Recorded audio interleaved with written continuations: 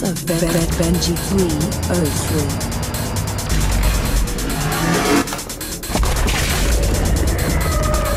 First target destroyed. The second turret will the angle needed to destroy the remaining tentacle. Lane Richardson, log entry 066, February 9th, 2163. Watched as the Horde overwhelmed the very best and most advanced machinery and weapons technology that we could muster against the opposition.